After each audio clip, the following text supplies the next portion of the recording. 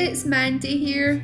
Today I'm making a card with this lovely new Unity stamp set called Serenity is Peace.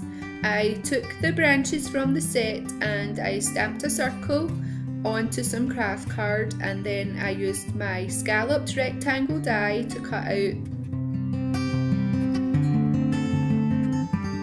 Then I stamped the sentiment onto some white card and Adhere all that together with some tacky glue and then put it onto a craft card base.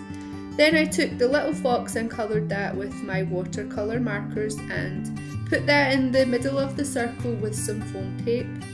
Then here I'm just taking a white gel pen and adding some snow to the craft card area.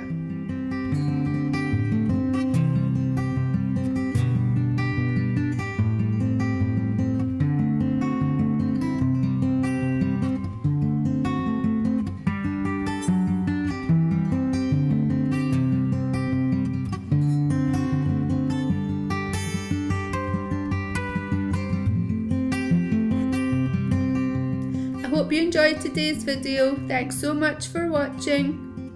Bye!